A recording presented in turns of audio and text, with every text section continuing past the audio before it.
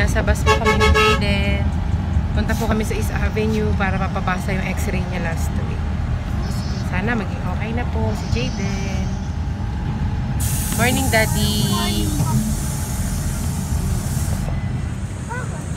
Kababa na kami ng bus ni Jaden. Dito na kami sa East Avenue.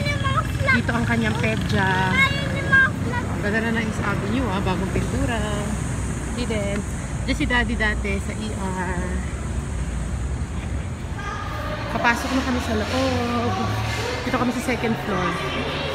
Kay Doktora Ordonia.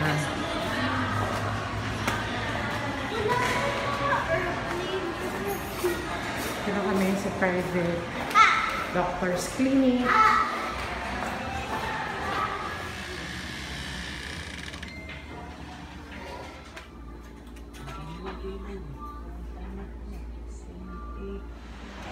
Tapos na po kami sa pedja. Ah, okay naman po, normal na. Binigyan siya ng lollipop ni Doktora. Ilan? Two lollipop. So, 12 kami umuwi. Punta lang muna kami sa bank. Basta na ulit kami ni Jaden. Pabalik naman. Ba't dalawa binuksan mo? Daan muna kami ng Ever. Punta kami bank. Ang ganda ng araw sa labas. Sa bank na kami. Na number ano tayo? Number 19 kami. We're just waiting. Tapos na kami sa bank errands. Uwi na kami. Kasi gloomy yung panahon. Paano kami maabutan ng ulan. Sa Riverside na lang kami mamalengke ng pan-lunch ng mga bata. Stop over muna kami dito sa house. Kasi kumakain. Nag-request ang Kuya Jaden pakain ng Mama, Siomay. Plain lang. Ayaw niya ng mga toyo. See it. yeah. Uwi na po kami. Ito ang community ng Riverside. Taga dito talaga kami. Pumili lang kami ng ulam, bangus na lang para magbibigay sasabaw ang community ng kamote. Yan si Jaden.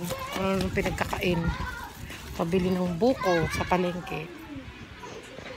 Update. Nakauwi kami ni Jaden dito before lunch. Nag-lunch tapos natulog kami ng mga 1 hanggang alas 3. Pahinga lang. Bawi. Sakit kasi ng mga daliri ko. Oh, sugar. Hindi na ako uulit maglaban ng kamay. Ah, we're going to say goodnight. Hi daw, sabi ng pimples ko. Mga sugat ko. So, yun lang. Nag-dinner kami and then nagpunas. Nagpack na rin kami ng mga things namin for tomorrow. Kasi after na service, diretso kami uwi ng Marilao. Para bukas ready na. Maaga dapat kasi first Sunday bukas. Wow. Say goodnight, Jaden. Alaman, di po natin tunis. We're, go we're going to say goodnight. Good night na. Good night. Good night!